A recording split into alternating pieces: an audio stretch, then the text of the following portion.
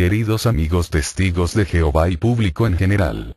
Aquí tenemos en pantalla la revista La Atalaya de fecha 15 de febrero de 1982, página 30, párrafos 14, 15 que se lee como sigue. Por 19 siglos hubo una sola llamada, la celestial, y Jehová escogió cuidadosamente a los que compondrían el gobierno del reino con su Hijo. Muchas personas habrían de ser invitadas, pero solo una cantidad pequeña y preciosa sería escogida. Mateo 22, 2, 14. Al tiempo debido se alcanzaría la cantidad prescrita, pero limitada, de 144 mil personas. Después de esto nadie más habría de ser ungido por Espíritu Santo como testimonio de que tuviera la esperanza celestial, a menos que, como suceso raro, la infidelidad de alguno de los escogidos que quedan hiciera necesario un reemplazo. Romanos 8, 16, 11, 19. Revelación 7, 1, 8, 14, 1, 5. 15. Cuando consideramos cómo Jehová ha tratado con su pueblo durante el periodo de la siega, parece obvio que la llamada celestial en general se completó alrededor del año 1935, cuando se entendió correctamente que la esperanza de la grande muchedumbre de Revelación 7, 9, 17 es una esperanza terrestre. Como hemos comprendido perfectamente sobre el contenido de este artículo leído y que fuera publicado por la sociedad Watchtower en 1982, ella nos dice que durante los pasados 19 siglos la única esperanza para los fieles cristianos ha sido la celestial. Y que Jesús, durante todos estos 19 siglos transcurridos ha ido acumulando o recogiendo a sus fieles cristianos ungidos para que formen parte de su reino celestial, como coherederos de su reino, y que esta llamada celestial acabó en 1935 cuando finalmente se entendió que el número de ungidos se había completado totalmente a la cifra de 144.000 y que la esperanza para la grande muchedumbre a partir de 1935 sería solamente la terrena sin embargo, queridos amigos testigos de Jehová y público en general, a continuación les presento esta otra atalaya en inglés de fecha 1 de septiembre de 1951, página 518 que se lee como sigue. Voy a traducir para todos ustedes del inglés al español. Y dice así.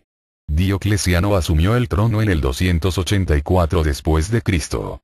Al principio parecía amable para con los cristianos, pero en el año 303 se dio a la persuasión y emprendió la décima persecución a los cristianos, probablemente el más feroz de todos.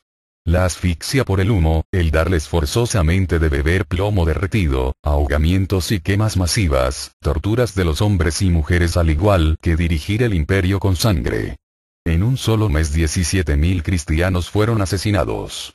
En la sola provincia de Egipto, 144.000 de esos profesos cristianos murieron por la violencia en el curso de esta persecución, además de otras 700.000 personas que murieron como resultado de la fatiga mientras se encontraban en el destierro o en obras públicas con trabajos forzados.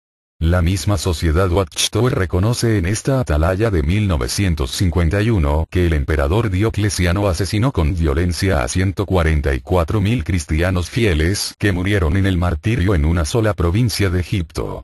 No hay duda pues, queridos amigos testigos de Jehová, que estos 144.000 cristianos fieles que murieron en el martirio, en el siglo IV, en manos del emperador romano Diocleciano, en la provincia de Egipto, completaron con creces el número de ungidos que Jesús necesitaba como sus coherederos de su reino celestial.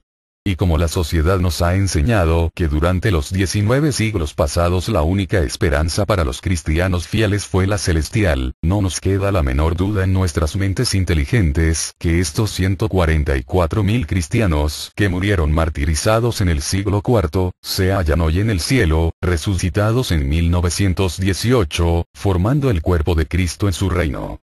Entonces cabe preguntarnos, si realmente el número de ungidos se completó en 1935 tal como afirma el esclavito, o más bien este número de los 144.000 se completó en el siglo IV durante el reinado del emperador Diocleciano que condujo a morir en el martirio más feroz a 144.000 cristianos ungidos recontrafieles. Eso quiere decir que en el año de 1935 no pudo completarse el número de los 144.000 ungidos, puesto que, como ya hemos probado fehacientemente, este número se completó con creces, o demás, en el siglo IV cuando Diocleciano asesinó en Egipto a 144.000 cristianos fieles. Y recuerden amigos testigos de Jehová lo que la misma Watchtower Sociedad Anónima nos ha dicho en la atalaya de fecha 1 de diciembre de 1991, página 7. La religión que enseña mentiras, no puede ser la verdadera. Muchas gracias por su atención y será hasta el próximo desenmascaramiento de la Sociedad Watchtower.